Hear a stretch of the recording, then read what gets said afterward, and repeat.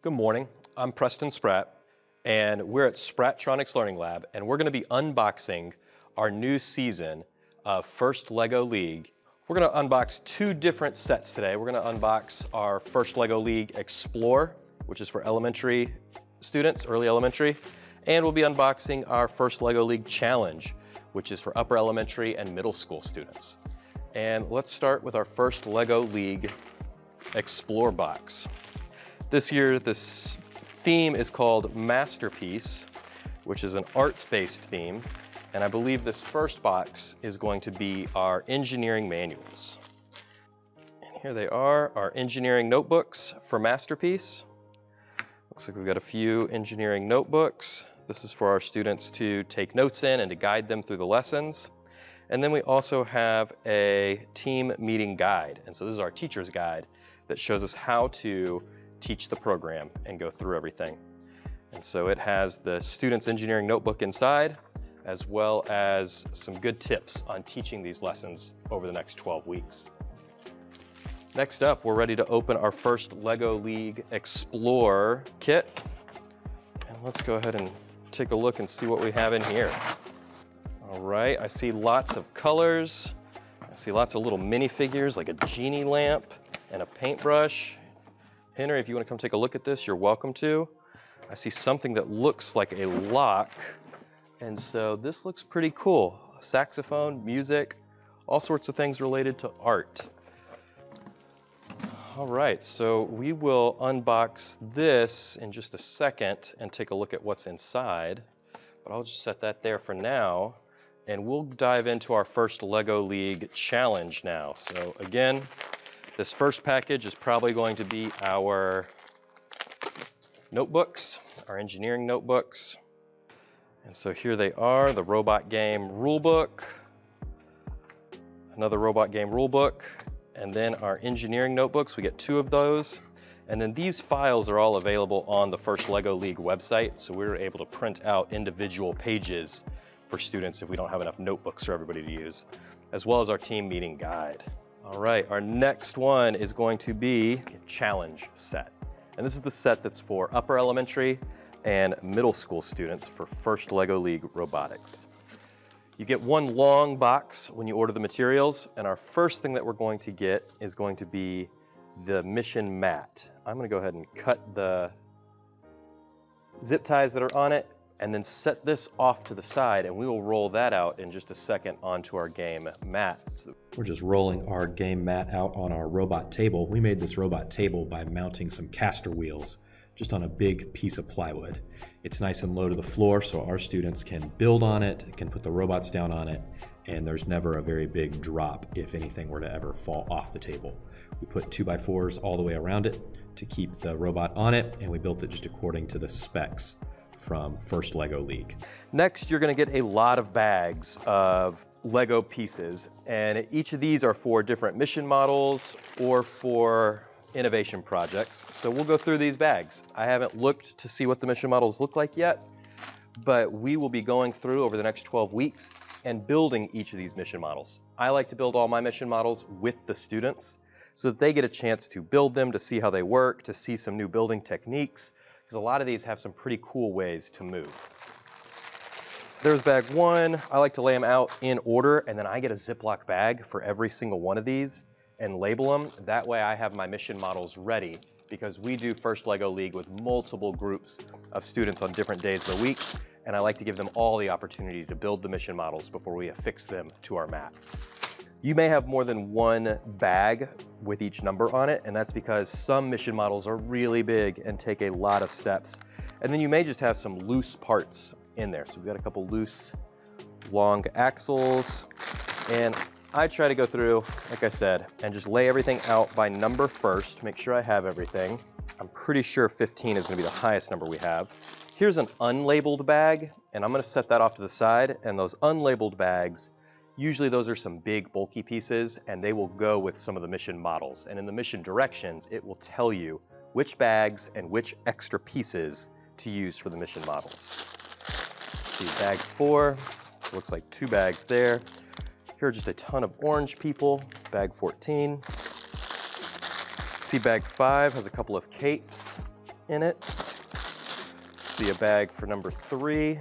It's got purple and white theme. Bag eight, lots of little parts. May end up having to do two rows of this. Bag one, little connector pieces. Uh, bag seven, I think that one can go down there. And we'll start going underneath. Six, seven, eight, nine. Yeah, we'll do it that way. Here's one for bag two.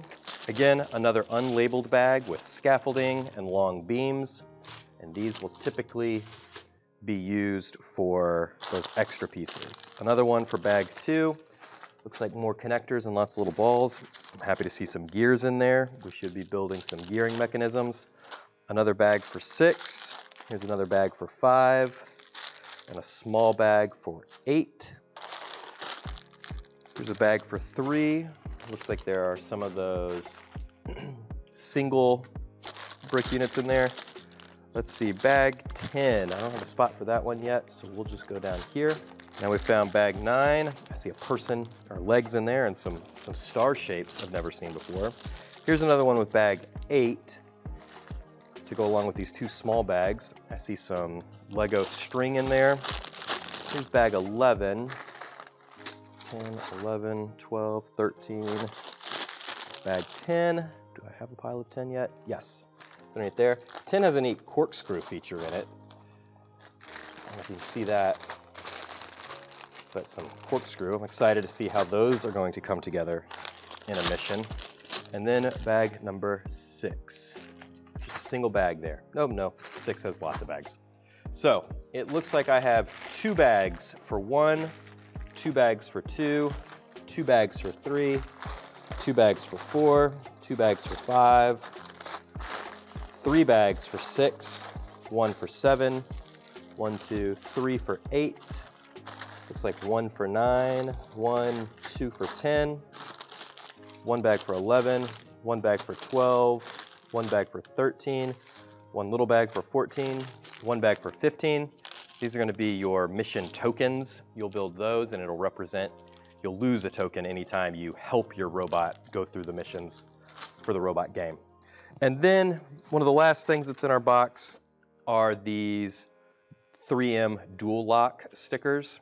And you'll attach these to the bottom of your mission models and to your game mat once everything is put together. And this will give you a chance to stick your mission models to your game mat. Now this is one of the last things that I like to do and I wanna make sure that the mission models are built perfectly and ready to go.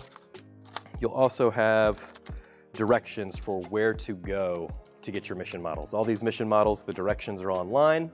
And over the next 12 weeks or so, we will be building these mission models and talking about what they represent, ways to do the missions, but it should be a lot of fun for this year's first LEGO League Challenge Masterpiece. We're jumping back over to our first LEGO League Explore kit, and this is our kit. We've got a cool stage on the front, and then it looks like just a basic stage on the back.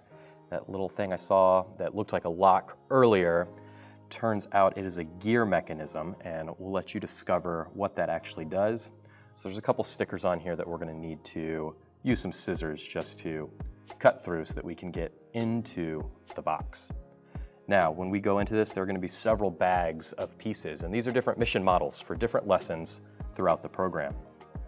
There will be four different numbers that you'll come across as you go through. And right now is a great idea to start sorting out these bags. I like to put them into the each their own individual Ziploc bag so that I can have them ready to go when we do each lesson. And so we're going through these bags and trying to decide what we're gonna build. Here is your game mat, and it sort of gives you an idea of how to do the engineering design process as well as a story. And in your very first lesson, you'll read that story with your students. And then this is our game mat. Fun thing to do with this game mat is to ask students what sort of images that they see on the map and what type of objects that they see on there, what they could be used for. Um, what do you think the theme is? And what do you think these mission models might represent in the real world? And what could we do to learn more about them? So those are some great questions you can ask your class as you go through. And so we're sorting our bags right now and we're making lots of ideas of what we think is going to be in there and what kinds of things we're going to be making. And you'll come across a couple of instruction guides as well. You can get on First Inspires to download these instruction booklets, or it comes with some paper-based booklets right there if you don't have enough screens for your class or if you'd like to get away from the screen. And so there are two instruction books, two base plates that are tan, one green base plate, and then a lot of bags numbered one through four. You're gonna get a ton of LEGO minifigure characters with this, and it's fantastic, the different characters that you have. Happy building. We hope you have a wonderful experience with First LEGO League. Explore.